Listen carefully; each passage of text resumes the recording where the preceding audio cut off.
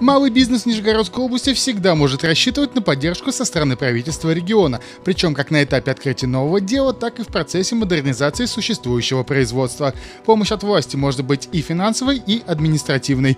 Где ее можно получить и какие виды поддержки существуют на сегодняшний момент, рассказал заместитель министра промышленности, торговли и предпринимательства Нижегородской области Максим Черкасов.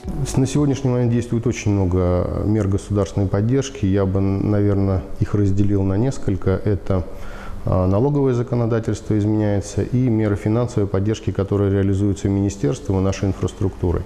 В первую очередь я хочу сказать, что мы продолжаем такие меры э, поддержки, как компенсация затрат на покупку оборудования и компенсация затрат по первому лизинговому платежу.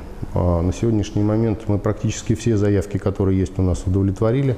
Конкурс идет только по компенсации затрат на оборудование. То есть мы итоги подводим где-то э, до 1 сентября, мы уже подведем итоги по предпринимателям, которые получат в этом году эту поддержку. У нас был такой механизм поддержки как гранты. На начало собственного дела мы выдавали гранты в прошлом году еще по 300 тысяч рублей.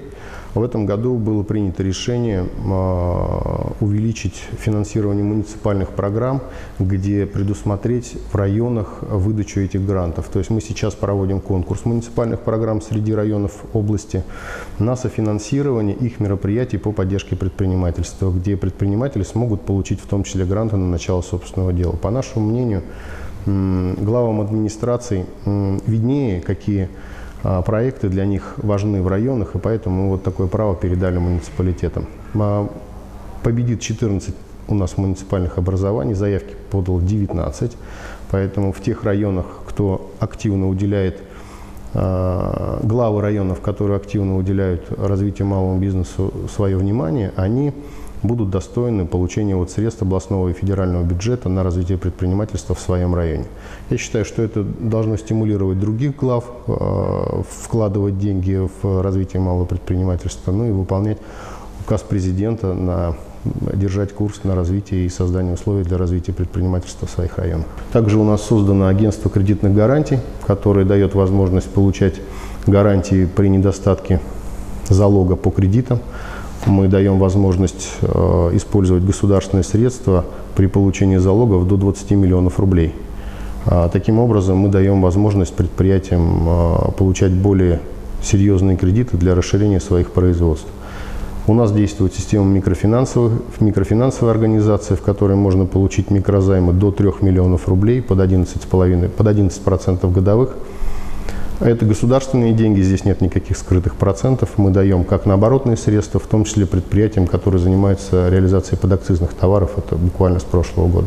Есть автокредиты, у нас достаточно активно пользуются у предпринимателей, те, которые берут автомобили в кредит, поэтому можно использовать этот инструмент для покупки автомобилей. Ну и я хотел бы рассказать о федеральных инструментах, с которыми мы работаем. Вы знаете, что создана Федеральная корпорация развития малого предпринимательства под, во главе с Браверманом. А сейчас у них есть 50, 100 миллиардов рублей актива, где 50 миллиардов они используют гарантийные фонды и 50 миллиардов они выдают кредитных средств. То есть у них есть программа 6+, есть федеральные банки, и сейчас у нас несколько региональных банков проходит аккредитацию, где корпорация будет компенсировать э, проценты банкам, э, чтобы сделать более доступными кредиты для малого предпринимательства. Поэтому по их программе можно получить кредиты э, под 11% для малых компаний, для, под 11% для средних компаний, под 12% для малых компаний. Всю эту информацию можно узнать тоже в нашем министерстве. Мы с прошлого года реализуем э, проект с многофункциональными центрами э, в районах области, поэтому, в принципе, консультацию по по поддержке своего бизнеса можно получить в многофункциональных центрах. Также практически в каждом районе у нас созданы центры поддержки предпринимательства, дома малого бизнеса. У нас нет только в двух районах, поэтому любой центр э, компетентен, и мы проводим систематические обучения э, по нашим мерам государственной поддержки. Поэтому в районных администрациях, в бизнес-инкубаторах, которые мы развиваем активно. Ну и плюс наше министерство, конечно, всегда открыто для предпринимателей. Можно позвонить, прийти и получить достойную консультацию.